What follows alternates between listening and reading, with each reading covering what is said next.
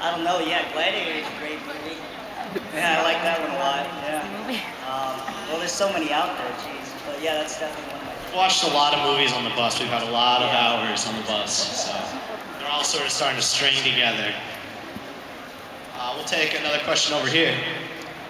Um, what did you eat in China? Wow, they had all sorts of food in the cafeteria. For me personally,